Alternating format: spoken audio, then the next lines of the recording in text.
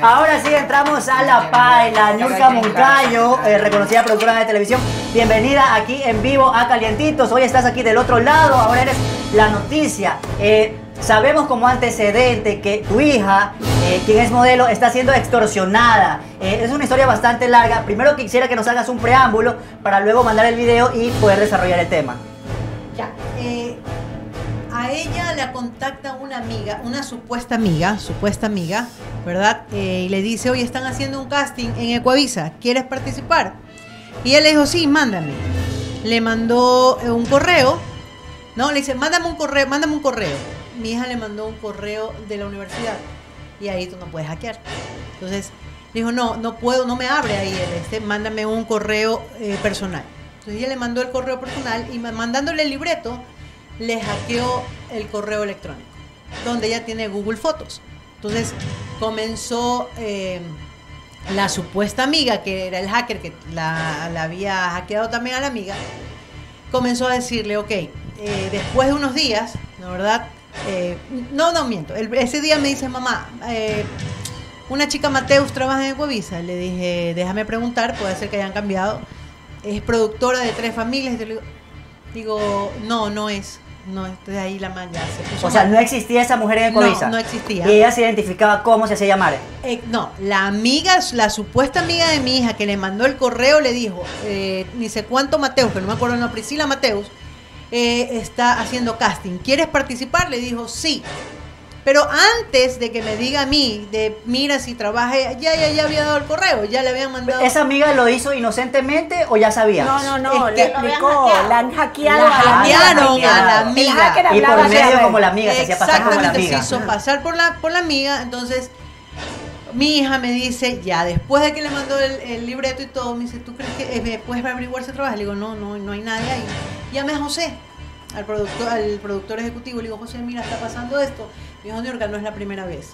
Ya han ya ha pasado esto y muchas personas se han quejado que nosotros mandamos correos para que hagan casting. No está pasando, no es así. Ok, tenemos listo el video. Vamos a escuchar a tu hija que nos cuente más acerca de esto y luego estamos de vuelta. Bueno, este, yo seguí esas instrucciones. Eh, como esta persona que me estaba escribiendo hablaba como mi amiga, yo pensaba que era ella, entonces yo le dije, mira, ¿sabes qué? Eh, eh, no puedo, porfa, ayúdame tú. Bueno, y a esta persona le di mi código de acceso para que pueda ingresar a mi mail y descargarse el Work Drive. Eh, fue mi error, pero es que en serio era muy real, o sea, me escribía como ella escribe. Bueno, este, le pasé, todo bien, puede descargarme el, el, el, el libreto y ahí me dio un par de instrucciones. Bueno, yo llamo a mi mamá porque mi mamá trabajaba en, en, televisión y le dije, mami, mira, qué raro, me están diciendo esto y me dijo, ten cuidado, no vayas a ningún lado porque yo pensaba que me iban a ir a hacer algún lugar y me podrían haber hecho secuestro express o algo así porque cuando yo vi el libreto vi que decía tres familias y tengo entendido que tres familias ya salió del aire hace mucho tiempo. Entonces yo le escribo a mi amigo y le digo, ¿estás segura que esta tal Pierina Mateus que era el nombre que utilizaban, como que ella era, o sea, Pierina Mateus era la persona que estaba consiguiendo eh, extras para esa serie de Coavisa. Y le dije, ¿estás segura que tú conoces a esa tal Pierina Mateus? Porque yo llamé a mi mami y me está diciendo que eh, esa tal Pierina no trabaja en Ecoavisa y que no están pidiendo extras ni nada. Entonces me dijo, sí, sí, es mi mejor amiga, o sea, tranquila, no, este, no hay ningún problema. Bueno, eh, luego de eso yo estaba tranquila, dije, bueno, este, creo que sí se dieron cuenta que, que, no caí en este sentido de que tal vez si me mandaban a alguna ubicación no iba a ir porque yo tenía miedo que me hicieran secuestro express o alguna cosa de esto hacerle una pregunta a Niurka para decir, yo particularmente, eh, yo no creo mucho a veces en la inocencia de las personas y pienso que deberías investigar primero realmente si no tiene nada que ver la amiga supuesta. Yo me llevé esa sensación de como que algo no está muy claro ahí. Entonces, eso para empezar, para saber realmente si no tiene nada que ver. Ojalá y no tenga nada que ver porque sería doble dolor, ¿no? Porque alguien tan cercano. ¿Cuánto pide esta persona eh, para poder devolver la cuenta o no? No, no, no, no, no. le pedían 100 dólares para no publicar videos íntimos que ella tenía con su esposo, que tiene con su esposo en la, en la cuenta, o sea, en el correo. ¿Y qué garantías hay de que pagándole la plata? Le decía, tú confía en mí, yo solamente te doy la palabra que nunca más.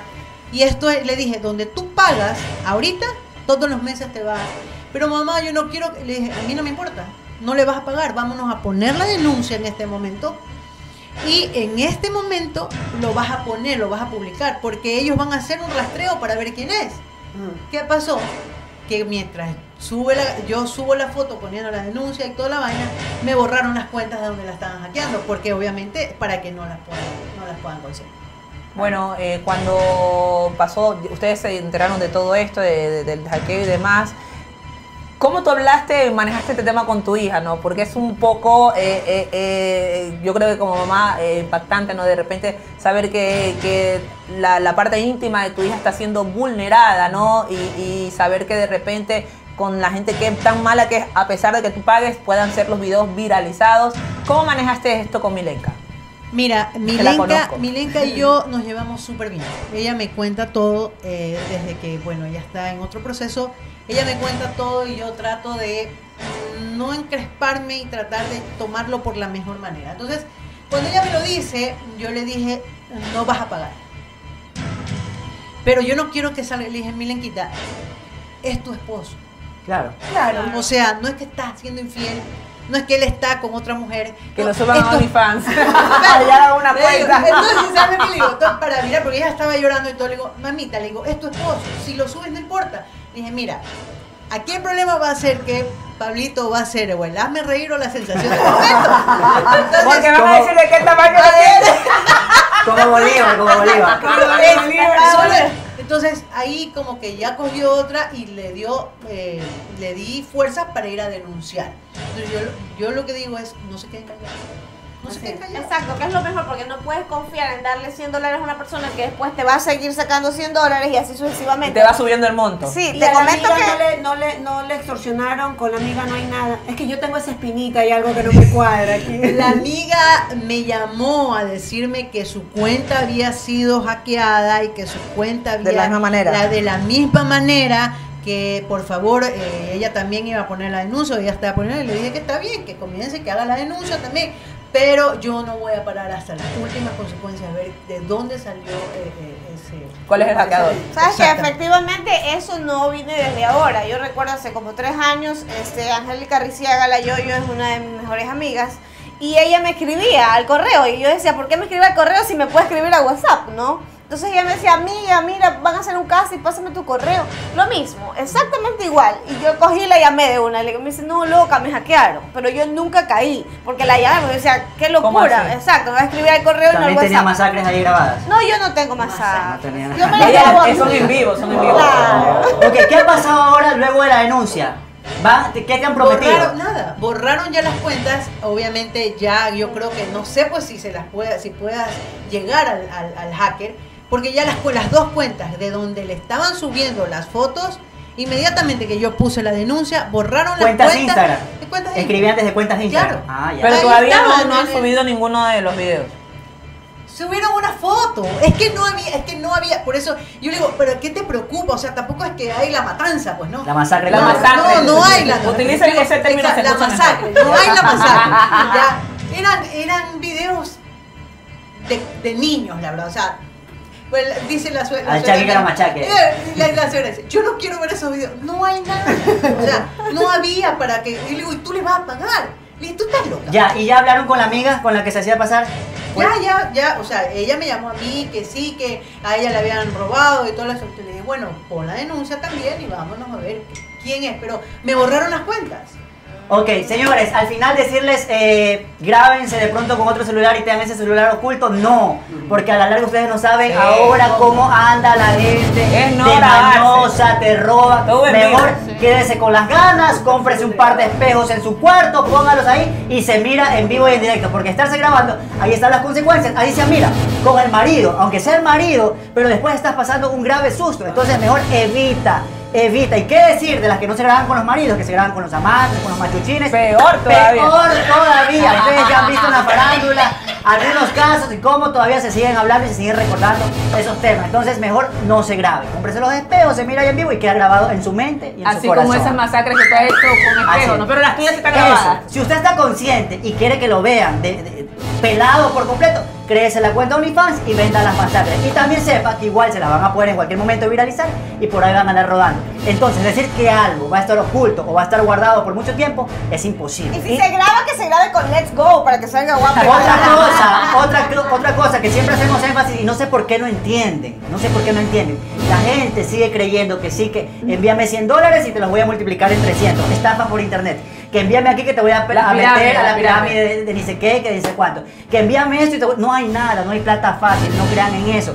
Y también no crean tampoco en esto, en que supuestamente van a llegar rápido a la fama, que te voy a meter acá, que esto es para un casting. por acá. No responda nada, no abra nada. Recientemente vi también un productor que estaba que se quejaba que a su mamá le habían llamado de un número de celular y que también le estaban diciendo tienes que darnos como 100 dólares porque fula- fulanito está preso y tenemos y, y somos la policía y lo vamos a soltar solamente si nos no no hay nada. No coma cuento ni se atreva a abrir un esta semana me han llegado mínimo siquiera 20 links de diferentes cuentas de Instagram a mis cuentas diciendo que supuestamente es un copyright de Instagram que por aquí que por allá que te vamos a verificar. Ni lo abra eliminar bloquear y se acabó Y si es personal y le hacen la y propuestas, cuidado también. y para cerrar con las recomendaciones, tampoco se graben y borren, porque la tecnología es una cosa de locos. Usted puede borrar, pero eso quedó guardado en alguna parte del teléfono. Yo estoy el esperando la- teléfono y eso se viraliza. ¿En serio? ok Yo estoy esperando la segunda porque dijo Niurka que eran dos. ¿dos qué? Dijo que traía dos. Ah, ya, ok. La segunda La es. segunda es, ¿ya viste, ¿ya viste el Instagram que Margarita se compró un carro nuevo?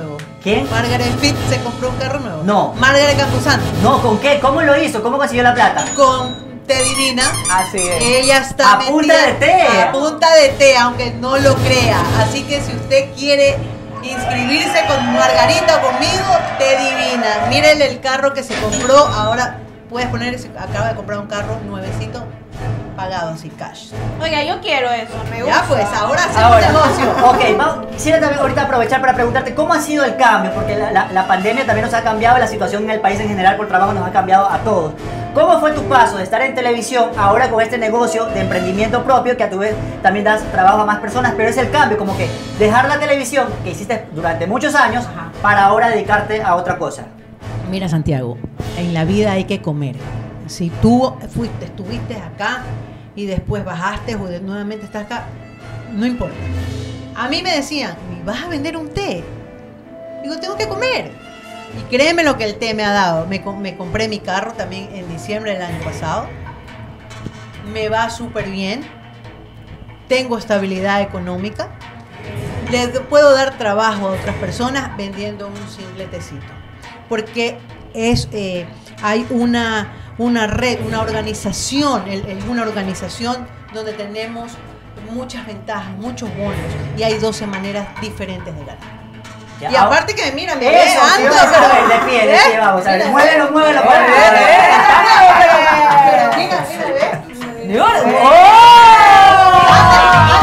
mira,